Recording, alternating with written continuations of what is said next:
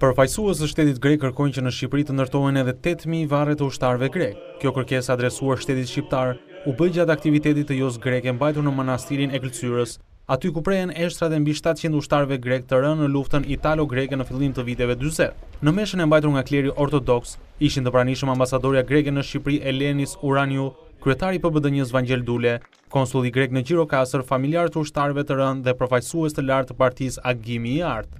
Ish-nënkryetari i Parlamentit grek, aktualisht kreu i Shoqatës së Familjarëve të Ushtarëve Grekë të rënë në luftën italo-greke, Jorgos Surlas, duke iu referuar kësaj çështje, kërkoi ngritjen edhe të tetë mijë varreve të reja për ushtarët grekë.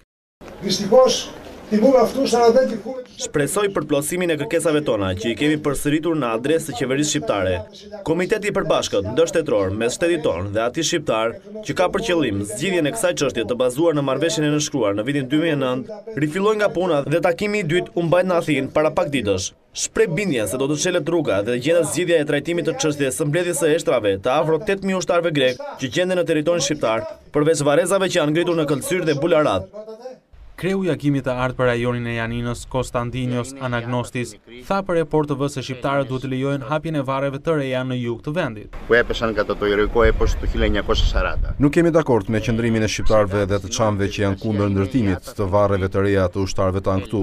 Dhe kjo nuk është e drejtë. Shqiptarët duhet të na ndihmojnë edhe neve që të rivarosim eshtrat e të parëve tanë në këtë vend që kanë luftuar ndaj pushtuesit të përbashkët. Partia jonë, Agimi i Artë, nuk i shikon shqiptarët si popull armik, sepse jemi komshinj të mirë dhe si çdo shtet edhe me Shqipërinë ne kemi kufijtë tanë dhe secili i respekton ato.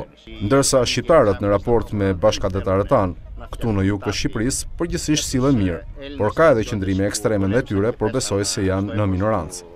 Prej disa vitesh kjo ceremoni kryhet në këto varreza ditën kur në Greqi shënohet ngjarja historike kur vendi i tha jo pushtimit nga Italia fashiste.